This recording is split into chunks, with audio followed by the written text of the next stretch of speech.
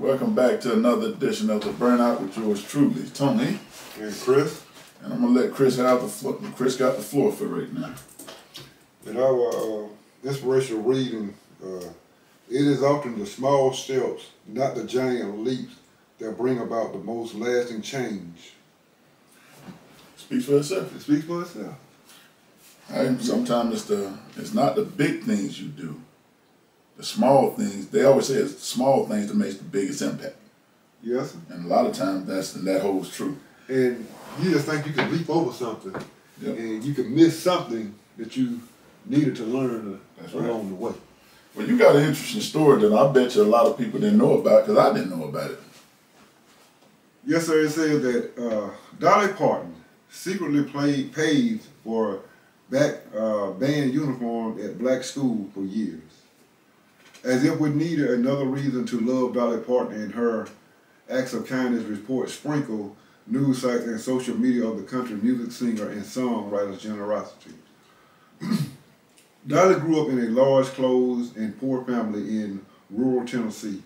They spent many hours singing and playing music together, whether at home or at church. Or uh, Dolly Parton began singing professionally at the age of ten and performed in the Grand Ole Opry at thirteen. Her her career skyrocketed when she worked with poor with Porter Wagoner on his uh, namesake show. More than 50 record albums later, Dolly Parton is said to be a country music legend. But Dolly doesn't let her stardom or wealth go to her head. Instead, she turns blessing others with what she what she had. In support of the arts, Dolly Parton sponsors band uniform for black students. In a tweet, Michael Harriot shares yet another way Dolly Parton has used her incredible wealth to selfish, uh, selfishly help others. Michael shared that here a here's a quiet, wonderful thing I noticed if you talk to someone who was in a choir or a band, majority black high schools, you eventually discuss the annoying fundraisers for uniforms, instruments, etc., and surprising number uh, will casually say. It says, uh, with nearly 1,000 reactions and hundreds of replies, the public has shared their opinion about the country star's contribution. Years ago, my grandmama, my grandma was in her first class next to Dolly. Dolly. People kept coming over and to say hello, so eventually grandma somewhat snobbishly asked a greeting. All those things annoyed her. Dolly just said, those people are why I'm in first class. That stuck with my grandma. And 30, 30 plus years ago, I was in high school marching band in East Tennessee. One year, uh, we played Sylvia uh, County High School, and dang, that band was equipped uniforms, instruments, flags, everything. Mountain area, much uh, poverty paid for by Dolly Parton. That woman is a national treasure. Dolly is a uh, is a saint in this house. When your youngest has speech problems and stopped talking, Dolly was sending her reading books. It was the highlight of her little life back when being, and she loved the beautiful woman picture of on the uh, back of the book. Dolly is the best. I went to college near her hometown, and her uh, philanthropy is no joke. One time she was guest hosting Regis uh, Philbin on live, and they called off school uh, off school so kids could watch it too. Dolly is where people should be. She's famous, has fun in the expense of her city her, of her critics. She spends her money to help people. Her kindergarten book club is amazing. She built a theme park to employ her community. Wow. I didn't know anything about it, but, but she keeps everything so quiet that yeah, that um, it's amazing that she's not boisterous. She doesn't advertise what she do. When you told me that, I'm like, Dolly, the country, I said the country singer. Never would have, never would a thousand, a thousand years guess. And and and and, and I, I hope they, I hope they paid attention to what you were saying. She donated these uniforms to black, the black man, mm-hmm. and not just once. She's been doing it. Been doing it for years. The article, the article, uh, she's been doing it for over ten years, Mm. and I'm, I'm like you. Uh, you know, I, I, you know, Dolly Parton, even like some of Dolly's songs. I listen to them, you know, every night and then. Yeah, I every like- night you get a little vibe of Dolly Parton and listen to her song. Uh, even when she was in the movie with Kenny Rogers. Kenny Rogers, I like that one. Island, You know, uh, uh, Island in the Street. Gamble. Like I love that song. You know, you got to learn when the when the hole, when the fold. you got all of them. You know, and uh, not in a million years, just watching Dolly, think that, you know, that her heart, you know, would be that kind to uh, another nationality. You, you, you hear for years that people are help their own, Yeah. you know, and you don't, uh, and, and it may be a lot more stars uh, that's doing this as well. The But one, the one thing we can say with her, and I can say this with um, use one of Joe Madison without fear of contradiction, she has she critics. does not see color. She has critics. Really? Yeah, she has critics that criticize what she does, that she got all this money and she want to help poor people. But she's Uh, still doing it. That's the one thing she don't pay. She's not falling into that. Uh, you know what? uh, let me give you. Uh, uh, I was doing something earlier, and let's give. Uh, they, they say this is the criteria for wh- how they look at you in wealth in society, society today. If you make under thirty-two thousand dollars, you are considered poor. Mhm. If you make under hundred thousand dollars to thirty-two thousand dollars, you consider it in between, Mhm. and it just keeps going up Yeah. you know, and just viewing thirty two thousand dollars. Who who can live off thirty two thousand dollars a year? Not now. Nobody. You can't. It was hard to live back then. Yeah. But you know, but so she said she grew up poor in an outside, you know, uh, a little town in Tennessee, Mm. and she want to give back. She even did things to employ her community. You know, the one thing I can take from what she said and what you read is when she is that she grew up, but never forgot where she came from. See, a lot of people get money and kind of forget where they came from. Like they, it's just like some preachers. They preach like they never sinned before. Mm-hmm. They preach like they were born sanctified. Yes, sir. She never forgot how it feels to not to have, Yes. and she gives back. And you know, and, and anybody who criticized her, she, they, they something wrong with them. Something. I'm just gonna say You something wrong always, with you always got. You always got one. Always. at least, you know, and then they just multiply by whatever number they, you know. Are, are they jealous? And here's, and I mean, even with uh, Drake, Mhm. uh, you know, he did the uh, uh, the video. Video he gave nine hundred ninety nine thousand. Uh, uh, God, God's God- plan. God's But He plan. gave, he gave. yeah, he did. You know, uh, even you know, he would see people sitting on the bench and Walk give them and give them money, or he would give them them shopping. Give. You know, he was doing a lot of wonderful things. Yeah. and he did a video, which uh, you know, not taking nothing away from Drake, Yeah. you know, but just showing that he did it publicly, And Dolly did it And- behind closed and doors. And she basically. did it in closed doors. Been, been doing this for years, and uh, you know, it, you know, whether what God you choose, believe, whatever people choose, eh, you on them. But my God tells me, He said that if you, whatever you do, it secretly, It will come. I will reward you publicly. openly. Openly, yep. You He know, said that and, now. and she has been a blessing to so many people. It is amazing that when you give back, you can you kind of feel a sense of uh, worth, worth, worth being, worth, uh, well being. Yes.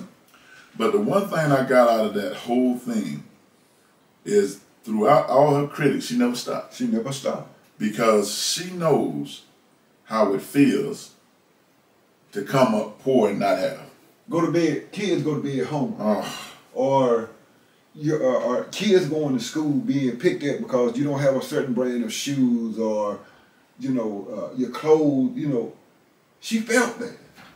for her to be a country singer, I'm just gonna be honest with you. I would have never guessed she did anything. I'm just gonna be honest. She was the last person I was thinking. If you'd have said Miley Cyrus, if you'd have said um, My, my, my, my side. What is the name? That, that's her, but What do they call it? Another name? uh, we, They got two names. we, cause she tried to twerk on TV one time, and so That's got uh, that singer got kicked out of the house too. we. Um, and the one that football player that's supposed to be dating, uh, that's, uh, I can't think of her name. Somebody's outspoken. This woman is quiet. She stays out of the public eye. You don't never hear anything about her, but she secretly does all this stuff.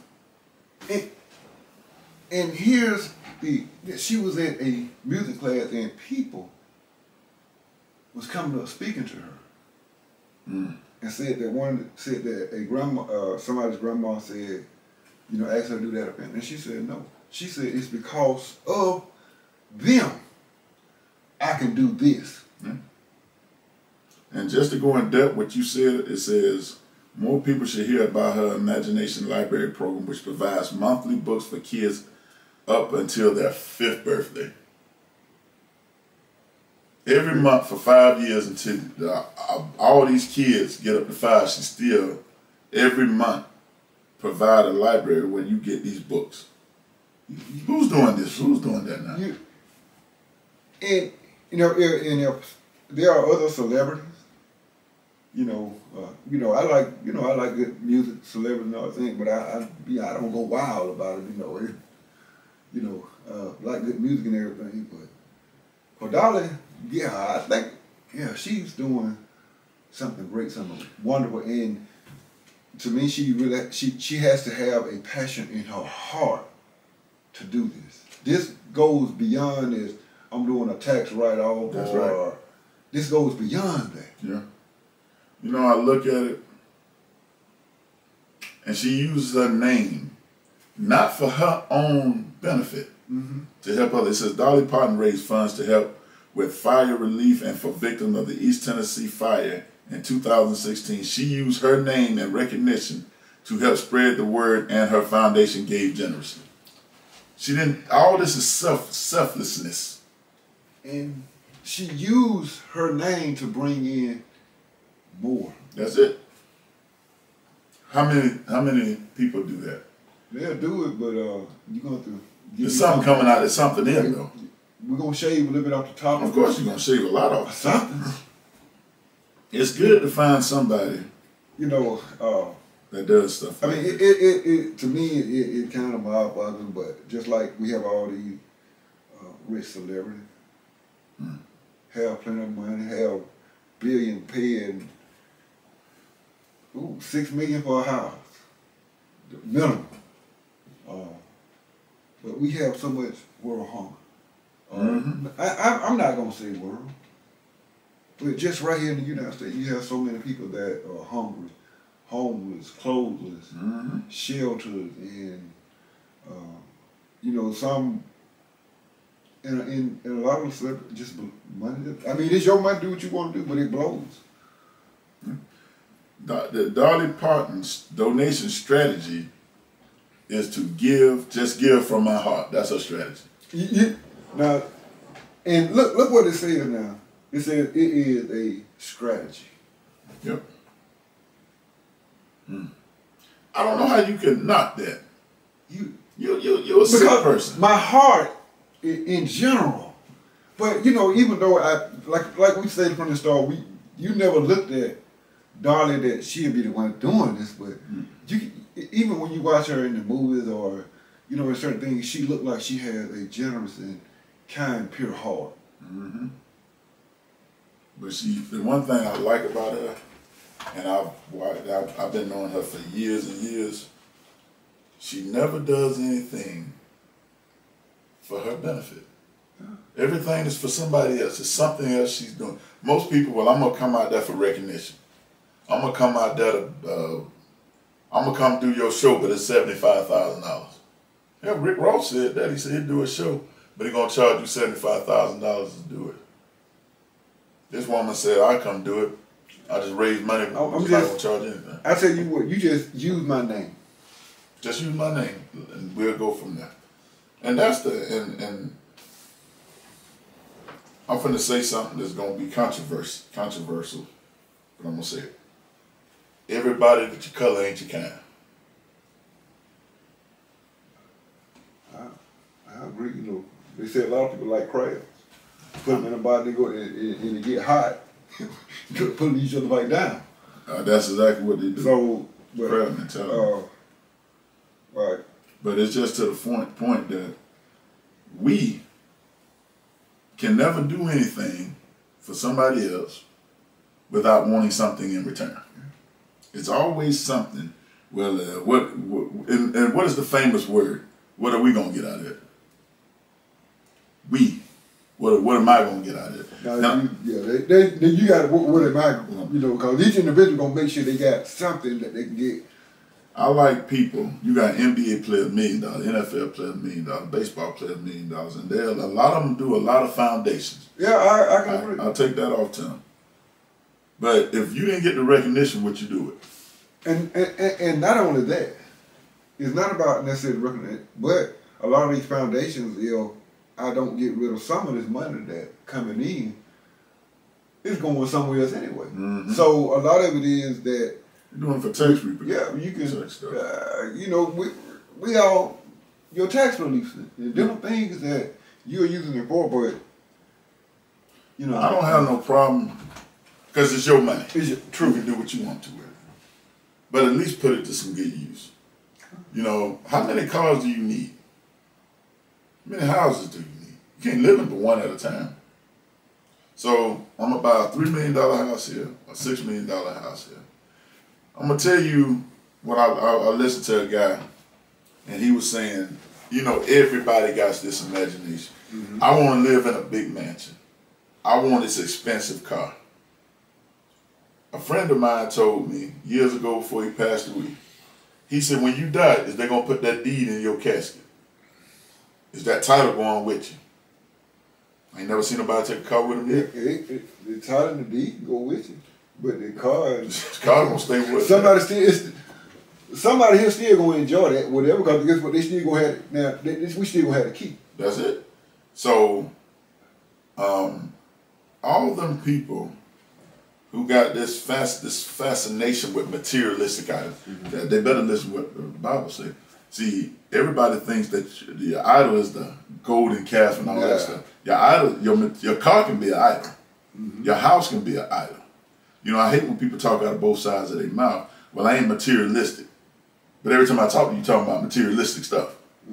So you can't have it both ways now. You, you know, uh, that's like uh, Book of Revelation when it speaks about the seven churches. It says, Yeah. you know, uh, that that one church you you're lukewarm. Yeah. He said that uh, because you say that you are rich and you're in need of nothing. So you're rich and you feel like you're in need of nothing that you can't you you need some compassion. Yeah. You know what I'm saying? Yeah. You you need a a, a, a good heart. Mm-hmm. You That's know, true. and, and, and as you know, uh, it, it it says that it's easier for a camel to walk through the eye of a needle Than a rich than a man. rich man is in heaven because he's be selfish. But what did he say? It says it is easier. He didn't say it was impossible though. Easier for the camel. It's easier for the camel to go through the eye of the needle than for a rich man to enter the kingdom of heaven. He said it, it didn't say he couldn't enter. He couldn't. It just said it would be easier because he gonna cherish those material items so much higher, and that's they and and and what he said. He said you don't put nothing before me. Well, if I idolize a car, what am I doing? Uh, before him. So the whole point of the story is they want these ten million dollar houses, they want these million dollar cars. The man said, he said, that sounds good. But he said, Do you know how much it costs to upkeep this stuff? Yes, sir. He said he uh, You ever see him? He got the hammer. He, he, he got him because they, boy, he got the hammer. they, they, they knocked all the pesos out Knocked all of there. But see, that's what people need to be understanding. You worrying about a million dollar house. Mm-hmm. This other man live in a shack, but he's way happier than you are. That's right. And they like, I'm like, why would that be? Because he's content and he's content with what he's got. He mm-hmm. doesn't need all that other He stuff. ain't stressed about how long he gonna keep it. Joy does not come from materialistic items. No, sir. Joy comes from within, and the person who gives you the joy Yes, sir. But see, when you take joy in your house, you take joy in your car, you saying, I'm not going to worry about you right now. Mm-hmm. I got this right here. A lot of NFL players have lost that right there. That's right. And then, that's you funny. Now, this is sad. This is so sad.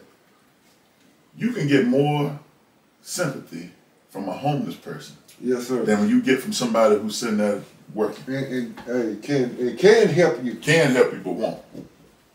That's that's that's embarrassing. And, and like I said, with with with, with Dolly, Mm-hmm. I mean, you just really and, and I can I can just imagine her heart is full of joy for what she's doing.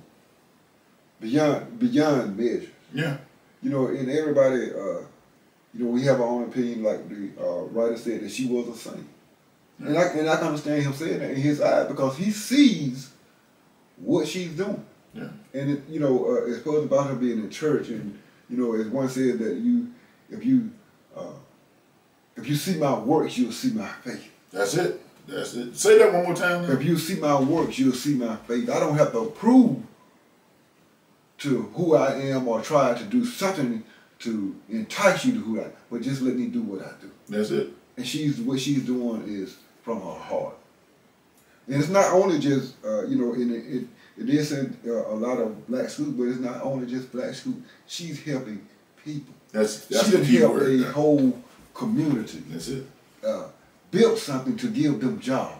Yeah. She's giving back. Even and, and the sad part about it is, even though she it says that she grew up poor, she can she she haven't forgot that. Guess what? It's still people here that is going or went through the same thing. So let me reach back and grab them. Let me help them. You let know, me pick them up. the one thing I like about her, she never lost her values. Yeah. Because sometimes you can get up so high, you don't. Well, that person is. You don't seen them in church. Yes. They come with their nose stuck up, hallelujah, and then when you come in, I might have some. I might not have the clothes you got on I want this to church. Because he then he said, "Come as you are, saint, the sinner and, alike." and, and, and, and guess what? I feel just as proud. Yeah, because you go there to get something. And You don't go there for a fashion show. That's right. But see, some when they see you coming there with some pants on, mm-hmm. look at him. Well, God ain't gonna judge me based on what I got on. Jeans and t-shirt. That's all it is. Because some of the ones with suits are the biggest devils sitting up there. And, and you know what? And I actually wear wear every Sunday I wore a suit, hmm uh, and I wore, you know, every Sunday I had a suit every Sunday. hmm When you learn, you do. That's it. You you understand that in order to serve, I don't have to have, come in with this suit on. That's right. That's but I just need to be who I am. yeah. And uh, uh, Dolly Parton, I, I, I appreciate you. I salute you absolutely. being who you are from your heart, from right. who you are. You you are showing your character, and once again, like we always say, is once a person show you who you are, believe what they show you. Dolly Parton, I thank you for showing me who you are. Yeah, and, and, and some people like her, you want to give them recognition, Yes, even when they don't want it. Give people their flowers while they're here, Exactly. and they can smell them. That's what's disappointing about the people who have it. They want to keep it though. Mm-hmm. You know, and uh, it goes back to what we said a minute ago. Man, the rich man said, "When I die, put my checkbook in the." Told the wife, "Put Bear my money, bear my money with me. She wrote a check out. She wrote a check. you know, uh, that's just like uh, uh, when you know driving truck. I met a man in uh, I stopped at a, a, rest area in New Jersey, and uh, come to find out the guy was uh, from Alabama Mhm. in New Jersey. He lived in New Jersey. Now we talked, and how we ended up having the conversation is, I was at the get some coffee, and he walked up there. He said, "Man, excuse me." I looked around. I said, "Brother, I appreciate that." I said, "Man, you don't even hear that word no more. Oh yeah. You, know. you don't even hear the word excuse me. So, um, you know that encourage. Hey, you keep that politeness. Let me give you this flower because you did say that. That's it. Give people their flowers when they're doing good while they're That's here, it. so they can smell it.